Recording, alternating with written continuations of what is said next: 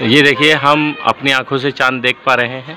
आप शायद देख पाएँगे क्या नहीं, लेकिन आप सबको ईद मुबारक, जितने भी हमारे सब्सक्राइबर हैं और जो होने वाले हैं उनको भी।